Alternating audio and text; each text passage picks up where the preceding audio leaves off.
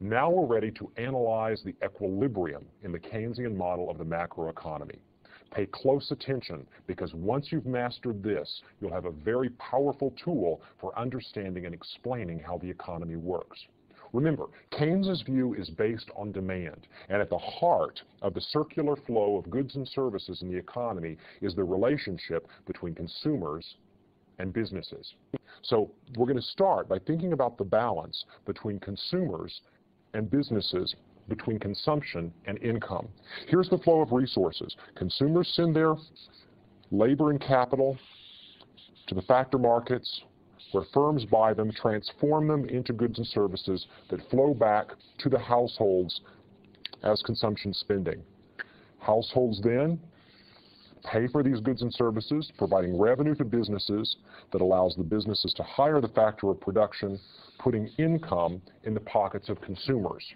So if this is the only flow in the economy, if we start with this simplest possible model of the macroeconomy, it must be true that the top half of this flow has exactly the same magnitude, the same size, the same number as the bottom half of this flow. Where do businesses get the money that they pay consumers as income? They get it when consumers buy the goods and services. So in this simple model, the equilibrium, the stable outcome, the balance is when consumption spending is exactly equal to real income. That's the notion here that gives us balance. If that's the case, then the economy is stable. If that's not the case, if consumption spending is greater than income, then consumers are trying to buy more stuff than the factories are actually creating. It's because what the factories are actually creating determines this. It's the goods and services that the companies have produced that allow them to earn the money that they're paying to the households as income. So if consumers are trying to spend more than they're getting in income, the economy is out of balance. Factories are not producing enough, and they might have to scramble to produce more. In the short run, their inventories are going to be drawn down, and they're going to be forced into a position of unintended inventory reduction. So the only way we have a stable or balanced outcome is when consumer spending is equal to real income. Let's look at a numerical example now and see how this would work. Let's go back to our consumption function. This tells you what consumers are planning to spend as a function of their real income. At any given level of real income, consumers are going to spend A, the autonomous consumption, plus B, the marginal propensity to consume times real income. So in our example, let's suppose that autonomous consumption is equal to 10. And let's further suppose that the marginal propensity to consume is equal to 0.8 or 8 tenths. Consumers spend 80 cents out of each additional dollar that they're paid in income. Well, if that's the case, if income is 40 and autonomous consumption is 10, then consumers are going to spend 8 tenths times 40, or 32, plus 10, the autonomous consumption. 10 plus 32 gives total consumer spending of 42. In that case, consumers are spending more than their income, so savings is going to be negative 2. We could go ahead and put that in our table. Suppose now that income is higher at 50. In this case, autonomous consumption plus the marginal propensity to consume times 50, 0.8 times 50 is 40 plus 10, gives us total consumer spending of 50, which in this case is exactly equal to income, so savings is equal to zero. If income were higher, say 90, 90 times 0.8 is 72, plus 10 is total consumer spending of 82. In this case, since income is greater than consumption, we find that total savings is going to be equal to 8, a positive number. And finally, if income is 100, 100 times 0.8 is equal to 80, plus autonomous consumption of 10 gives total consumption of 90, leaving savings to total 10. Now, right now, there's nowhere for savings to go in this economy. That is, if consumers put money in the bank, if they take some of their income and don't spend it, then there will be goods left on the store shelves that are not purchased. So that can't be an equilibrium. Businesses are accumulating inventory against their will, unplanned inventory investment. So in this simple model, where our only circular flow is with household spending and income coming in, it must be true that consumption and income are equal in equilibrium. Therefore, our stable outcome is going to involve an income of 50 and a consumption of 50 and a savings of zero. That's the outcome that gives us stability. Let's go and look at that outcome now in the picture that we've drawn called the aggregate expenditure diagram. In this case, we're going to have a consumption function with a intercept of A, which in our case is 10, and a marginal propensity to consume of B, which in our case is 0.8. So here's the consumption function, C as a function of Y, income. Now let's look at this point where the consumption function crosses the aggregate expenditure equals income line right here. Here we have macroeconomic equilibrium. That is, at this level of output, Y, which in our story we've calculated to be 50, something very interesting happens. At this level of output, we have consumers getting an income of 50, planning to do consumption of 50, so that total consumer spending which in this story is the very sum of aggregate expenditure, since consumers are the only people we've got in our model so far, aggregate expenditure is equal to income. Consumers are planning to spend an amount of money, 50, that generates an income, 50, on which these spending plans are based. That's the notion of macroeconomic equilibrium. When people are planning to spend an amount of money that generates the income on which the spending plans are based. The top of the circular flow balances the bottom of the circular flow. Consumption expenditures are equal to income. If income were higher, say income were up here at some higher level like uh, 100, if income were up here at 100, then we would have the situation of consumption spending only being 90, as we calculated in our table, but income is 100. So we have unintended inventory investment. Businesses are producing more goods and services than consumers are planning to buy at an income of 100. Therefore, we don't have equilibrium. Inventories accumulate. Businesses are going to cut back production in order to, uh, in response to this excess supply of goods and services, until finally we get back to an equilibrium at which planned investment uh, is equal to zero, in this case, in which planned spending, consumer spending, is equal to income. On the other hand, if income were lower, say it were somewhere down here at uh, 40, then consumers are planning to spend 42, but income is only 40. There's not enough stuff to satisfy consumer demand. In that case, inventories are being drawn down, and businesses have to produce more goods and services to satisfy consumer demand. And as they increase their production of goods and services, income will increase until we return to 50, the stable income, the equilibrium in this model. Now, that's an approach that focuses on consumer spending. One way of describing macroeconomic equilibrium is consumer spending equals income. Consumers are planning to spend an amount of money that creates the income on which the plans are created, on which the plans are based. Now, there's another way of explaining this. We've seen that when you have a consumption function, you can also draw a savings function. And the savings function has an intercept that has the same magnitude but the opposite sign. So the intercept of our savings function is negative 10, and the slope of our savings function is 1 minus the marginal propensity to consume or the marginal propensity to save, which in this case, as we've seen before, is 0.2. Now, the savings function in this case has an intercept um, right here. Savings is equal to 0 when income is equal to 50. That is, as we saw from the table a moment ago, when income is 50, people are planning to spend all of their income on consumer goods and services, leaving savings equals to zero. So one way of explaining equilibrium in this case is if there's nowhere for savings to go, if businesses don't want to borrow it, the government doesn't want to borrow it, if there's no one else in the model who might use your savings, then in equilibrium, savings has to be zero. Consumers have to be spending all of the income that they get.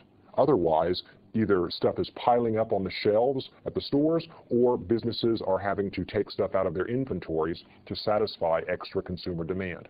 So one way of seeing the equilibrium here is saying that if consumers are the only players in the market, savings has to be equal to zero because there's no one else to use the savings. Well, let's now introduce savings more deliberately into the model and think about how savings really work in the macroeconomy. We'll go back to our circular flow diagram and introduce savings into the picture. So here's my icon for savings. Savings are a leakage out of the system. That is, this is money that consumers could be spending on goods and services, but instead they're choosing to put this into the bank. as savings. Now, who's going to use this savings? See, if the savings were here, if there were a positive amount of savings, as we saw in our table a minute ago, and no one to use it, then we'll have disequilibrium because consumers are getting income that they're not spending on goods and services, and our wheel, our circular flow, is out of balance. But suppose we introduce businesses. And suppose businesses acquire consumer savings and then spend it on plant and equipment, that is so-called investment spending. If businesses acquire savings and then use them to buy the stuff in the market that consumers aren't buying, that can restore balance to the circular flow. Here's how it works. Savings are a leakage out of the circular flow, but business spending, investment spending, is an injection back into the circular flow. So we label here this investment spending. And the way it works in our model is investment spending balances the reduction in consumption that created the savings. So if there's 10 worth of savings and business spending is equal to 10, then the circular flow balances once again. The stuff that consumers don't buy when they divert some of their income into their savings account is purchased by businesses when they borrow that savings and use it to acquire plant, equipment, and other capital goods. So one way of thinking about an equilibrium condition when you have savings, when you have this leakage, is that in equilibrium it must be true that what leaks out flows back in. In equilibrium, savings has to equal investment. Well, there you have it. Another way of describing macroeconomic equilibrium. In our simple story, we had zero savings, that is, everything was spent. Therefore, in equilibrium, since savings is zero, investment spending would have to be equal to zero for everything to balance. Let's go back to our numbers now. And suppose that we have savings in the economy. If we have savings in the economy, then we have something for businesses to borrow to conduct their uh, investment purchases. So let's suppose that businesses want to spend 10 that is, the investment spending that they're planning to do is 10 at any level of income. Well, if that's the case, the only equilibrium that we can have is one where consumers are willing to reduce their consumption spending relative to their income by enough to create savings for businesses to use. If the businesses want 10 worth of investment spending, there has to be 10 worth of savings to give us balance. Now our equilibrium is going to be 100, an equilibrium income level of 100, because only when equilibrium income is 100 is there enough of a gap between planned consumption and income to create the savings that satisfy businesses' demand for investment spending. That is, when businesses increase their investment spending by 10, they will generate enough income so that consumers will do the savings that will satisfy their need for capital. Here's another way of seeing the equilibrium condition. If you take investment spending and add it to consumer spending, 90 plus 10 is 100. Aggregate expenditure is equal to income. Or, equivalently, we can say we have equilibrium because the amount of money that people are saving is equal to the amount of investment spending that businesses want to do. Let's go over and look at that in a diagram. Here we have it in the diagram. Right now we've only got consumption spending, but now we're going to add on investment spending. So suppose we increase aggregate expenditure by the amount of investment, and in this case, that's equal to 10. So I shift my line upwards by 10, and now I have aggregate expenditure as a function of, out of income, and it's 10 higher than my consumption function. Same slope because uh, investment spending is independent of the level of income. Well, look, now my equilibrium point, the point at which the red line crosses the black dotted line, has shifted way up here. That is, now we have a balance between total planned spending and total income at an income level of 100, much higher than our original equilibrium income level. Another way to see this is if we look in the diagram downstairs, and I put investment spending in this picture, investors, that is businesses buying capital goods, are planning to spend a total of 10. Well, that means that at an income level of 100, we get enough savings generated by this high income level to satisfy businesses' need to borrow money. That is, only when the income level is 100 are consumers willing to save enough money, the gap between the dotted black line and the consumption function. Only whenever that gap has risen to a level of 10 is there enough extra money being saved by people so that businesses can go to the bank, borrow it, and do the 10 worth of investment spending that they're planning to do. Only whenever savings equals investment do we have macroeconomic equilibrium. See, it's kind of interesting. There are two ways of describing equilibrium in that circular flow. One is to say that spending equals income. That is, the sum of consumer spending plus business spending is equal to the total income that's created. A second way, an equally good way, is to say that what leaks out has to flow back in. That is, savings is equal to investment spending. Notice as you look at this picture that both pictures are telling the same story, just from different perspectives. Let me summarize by writing this out in an equation, and I think this equation will help make it clear how the spending approach is exactly equal to the savings approach in explaining macroeconomic equilibrium. In our simplest model, it must be true that output is equal to consumption.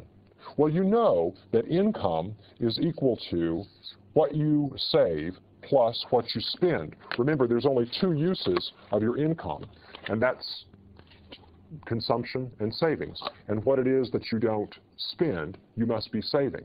Well, if that's the case, then in the simplest version, if we set income equal to each other in these two equations, we get consumption equals S plus C, or savings must equal zero. If you're only spenders or households, then it must be an equilibrium that savings is equal to zero. Now, if we add another set of spenders, that is, if we add business spenders to our equation, then aggregate expenditure in equilibrium has to equal income. So consumption plus investment spending, our aggregate expenditure, set that equal to income. That's your condition for equilibrium. But it still has to be true that the total income that's received in the economy is equal to savings plus consumption. So if you set y equal to y, you get c plus i is equal to c plus s, or savings equals investment. They have to be equal in equilibrium. You've heard the story intuitively and seen it in the circular flow diagram. I've given you a simple numerical example. Then I drew diagrams to show you how the spending approach is equal to the savings approach. And finally, we use this simple algebra. The idea here is there are two ways of describing macroeconomic equilibrium. In one, you focus on the flow of spending, and you say what consumers are spending has to be equal to their income. In the second approach, you focus on what's leaking out of that wheel, and you say that everything that leaks out has to go back in at some point. The spending approach, the savings approach. Two ways of talking about when the economy is in balance.